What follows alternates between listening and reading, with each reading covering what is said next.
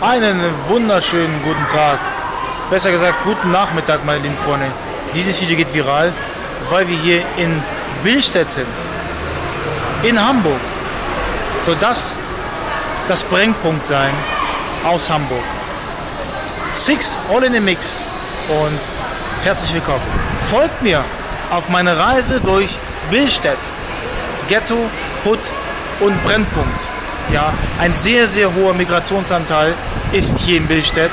Und ja, ich führe euch ein bisschen herum. Hier soll es die Hood angeblich sein. Let's go.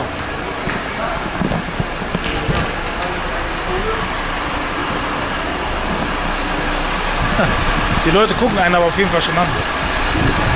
Wie ist es offiziell in der Hut? Dann würde ich sagen, zeig mal her hier. Offiziell in Billstedt. Wie geht's, Bruder? Alles gut? Wie läuft's bei euch? Ihr seid aus Billstedt?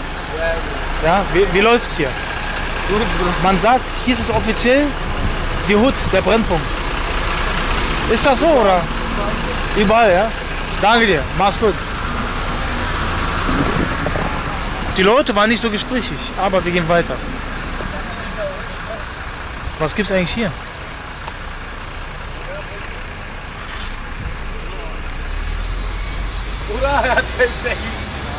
Ich grüße euch. Dort sind so Wohnungssiedlungen mit wunderschönen Häusern im Hintergrund. Und das ist hier Billstedt. Maugstieg. Ja, also wir sind direkt hergekommen und wollen uns sozusagen umschauen. Billstedt, angeblich die Hut. Naja, wenn ich dann noch hier war, kann ich das auch wieder abhaken. Dann war ich schon einmal hier gewesen.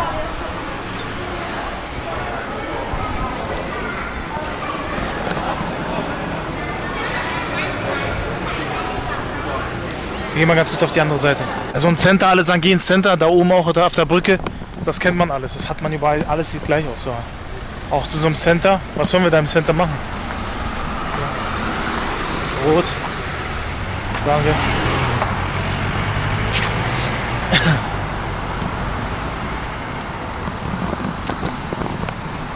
So. Billstedt. Polizei natürlich hier auch am Start. Gerade die Polizei gesichtet. Zum Beispiel. Ja, auch hier so. Polizei. Scheint ein heikler Ort zu sein. Aber hier sieht mir das echt aus wie nach. Das sieht mir so eher nach reiche Gegenden aus und ruhig so vor allem. Lorenzweg. Lorenzenweg. Okay. Meine Fresse Six. Fang nochmal an richtig zu lesen. Schaut euch das mal an, die Häuser, die Siedlung hier. Eigentlich sieht das aus wie so ein Dorf hier so eher. Ja, also, wenn das eine Hut ist, dann I don't know, Bro. Dann weiß ich auch nicht. Komm, wir gehen mal ganz kurz an die Seite. Was ich von Weite sehe, ist ein bisschen Graffiti an der Wand. Gehen wir da auch mal hin. Direkt natürlich. Ne? Gehen wir da auch mal hin. Ihr seht aber hier Wohnsiedlungen sind eigentlich super entspannt. Ich meine, wo ist hier die Hut, Alter? Ja, eigentlich sehr idyllisch und sehr, sehr schön. Boah, sogar der Rasen ist gemäht. Sieht schon geil aus hier eigentlich. Die Kennex sagen auch nichts, die gucken einen nur an. Eigentlich entspannt alles. Wo ist bitte hier eine Hut? Sag mal. Sag mal, bei euch piepst da wohl. Eine ganz normale, schöne, ruhige Gegend. Hier haben wir die Graffiti-Wand schon entdeckt. Auf jeden Fall lebt die Kultur hier in Billstedt weiter. Und hier nochmal. Auch geil. Da hinten nochmal das Haus. Bei allem Respekt, Billstedt ist echt schön. Da ist nichts mit Hut. Eine entspannte Lage ist das hier, würde ich sagen.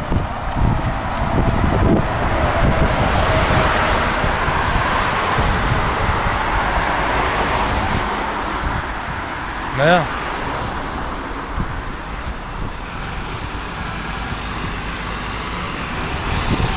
Wohngemeinschaften hier. Häuser. Dahin gibt es noch so einen Kiezblock oder was? Hochhaussiedlung da hinten. Auch interessant. Überlege, ob wir da hingehen, aber es sieht nah aus im Video, ist aber weit weg, Mann. Da müsste ich echt vor lange laufen. Hm. Fall ist das hier die Hut sozusagen. Wird gesagt. Wird gesagt. Ich weiß nicht, Freunde, was Leute alles erzählen, was alles stimmt oder nicht stimmt.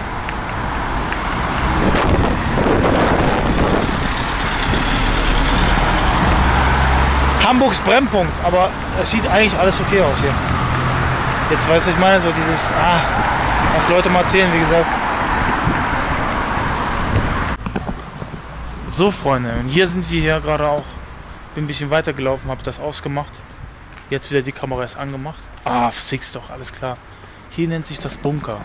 Billstedt, das Bunker. Hier soll auch eine interessante Gegend sein. Das Bunker Wahrscheinlich das hier, oder was? Von dem ist mir auch nichts bekannt. Aber jetzt gerade ein Passant, dem ich begegnet bin, der hat mir das so erzählt und hat mich dann sozusagen hergebracht. Hier ist auch ein cooler Ort, angeblich. Ein krasser Ort damals. Und heute, auch diese Wohnsiedlung hier, soll auch krass sein. Da sind Kids, die Fußball spielen. Und hier angeblich das Bunker. Tja, ich würde sagen, wir gehen weiter, oder? auch eine Wohnsiedlung wie in Schiller zum Beispiel, Berlin-Neukölln. So Spinne. Das erinnert mich so daran. Ja, komm, wir gehen weiter. Äh, ja, wir probieren noch mal ein paar mehr äh, Orte hier zu finden. Und ja, ich melde mich gleich der mal. Das ist der Bunker hier. Billstedt. Einer der heißesten Pflaster in Billstedt. Soll das hier sein, hat der Kollege gerade gesagt. Ja. Vorher hat er mal gesagt. Heute weiß er nicht, ob es so ist. Die Häuser sind auch komisch, ne? Auch ganz komische Ge Gebäude hier auch. Mit Balkon mit Silberabdeckung. Ja, auch interessant eigentlich. Billstädter Hauptstraße, Kreuzkirchenstieg. Hier zum Beispiel. Da hinten waren wir bei dem Bunker.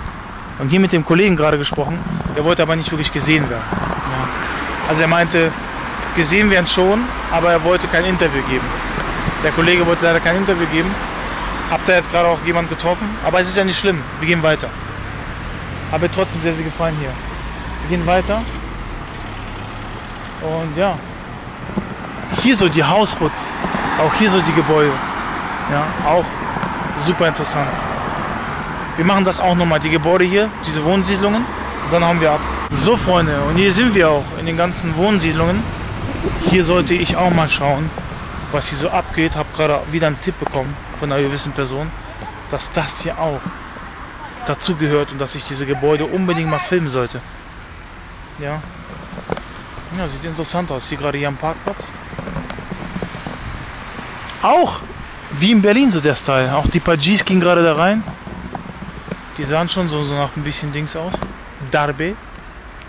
Aber, was soll ich sagen, Alter? Auch super interessant hier. Ja, auch die Gebäude da hinten. Wie ihr seht. Ja. Wir gehen mal wieder zurück. Da sind auch ein paar jugendliche Gs, die gucken auch gerade, was ich hier mache. Mülltonnen sind sogar, der Stil ist sogar sauberer als die bei uns. Vielleicht ein kleiner Teppich, was haben sie noch? Ein bisschen Sperrmüll, was heißt Sperrmüll? Einfach nur kurz mal was weggeworfen. Bei uns ist es relativ dreckiger in dem Sinne als hier in Billstedt, Hamburg. Ja, das war schon immer so mein, mein, mein Ding so, ja, also unterwegs sein, euch Orte zeigen, so die ganzen äh, Gebäude, die ganzen Hoods. Ja, letztens haben wir äh, Reeperbahn gehabt, dann die, beliebte, die beliebten Orte dort in Hamburg, zum Beispiel an der Alster und so. Ja, und heute haben wir das natürlich die ganze Zeit im Plan, im Thema. Ich bin nicht real, wenn ich nicht zur Hut gehe. Ich muss diese Orte checken für euch. Ja, weil sonst ist es. Für mich äh, spielt, das, spielt sich das Leben hier ab. Nicht in den beliebten Orten. Nicht nur in den beliebten Orten, sondern aber auch hier, wo die Leute wirklich leben. Die ganzen Locals täglich sozusagen äh, damit zu tun haben, mit dem Day Struggle, mit dem Life Struggle. Und ja, was soll ich sagen? Mich interessiert das sehr. komme sehr gerne in solche Orte. Weil hier sind für mich die Menschen auch Menschen und äh, jeder hat sein eigenes Leben und äh, Leute haben es schwer. Okay? Und äh, ja, auch wenn es inzwischen nicht mehr schon so ist, auch wenn es inzwischen nicht mehr so ist wie damals, erzählen viele, ist es auch leichter geworden, ist es hier dennoch Hut und eine gewisse kriminelle Energie ist hier auch am Start. Ja? Vor allem hier in Bel Bellstedt. Billstedt. Was haben sie hier? Baklava-Läden, Spielhalle, alte Gebäude aus den 80ern, Gebäude aus äh, 90ern wahrscheinlich schon eher. Das sind Gebäude aus den 90ern, das sind eher neuer. Ja. Was haben wir noch? Ein Hotel haben sie hier. Panorama Hotel steht drauf. Panorama. Ein Hotel. Ist halt wie so eine kleine Stadt für sich so. Billstädter Innenstadt sozusagen. Ja. Zentrum. Dönerläden, Lokale, alles drum und dran.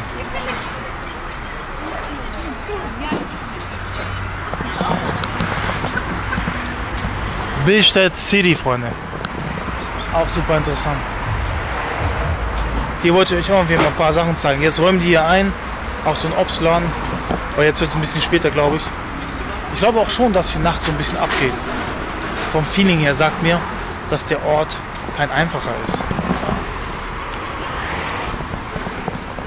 Was heißt kein einfacher? Gibt es wahrscheinlich hin und wieder mal Meinungsverschiedenheiten. Vor allem jetzt, wenn ich äh, ein Polizeiauto da sehe. Ja. Genau. Was hier mit den Kollegen? Ja, gerne.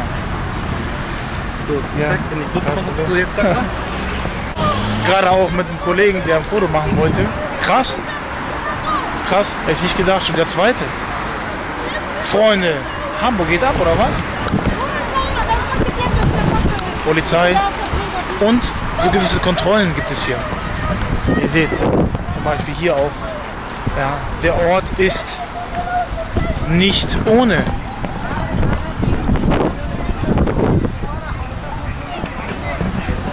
Verständlicherweise. Das heißt, umso später es wird, umso heftiger wird sie wahrscheinlich.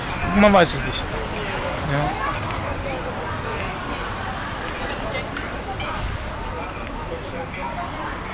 So, was wir jetzt machen ist, ich glaube, wir sind genau richtig hier, Freunde.